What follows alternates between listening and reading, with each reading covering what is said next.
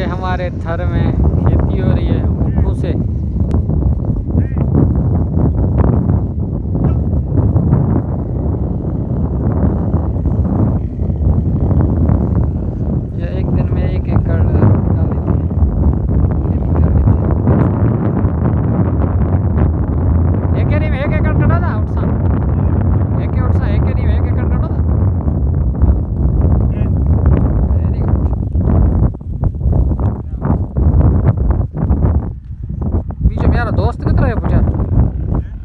दोस्त रहे पूछा?